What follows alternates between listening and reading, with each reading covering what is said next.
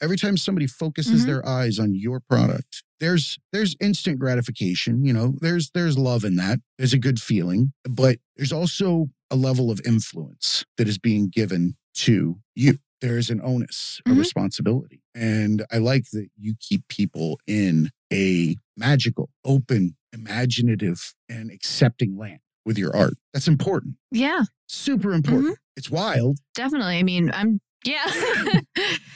Just trying to give kids, you know, like what I would have wanted, you know?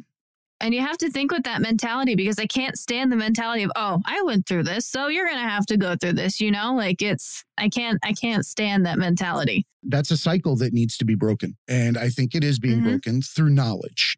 Through knowledge and communication. The more connected we Mhm. become, the more people open up and understand that it's not just their bubble.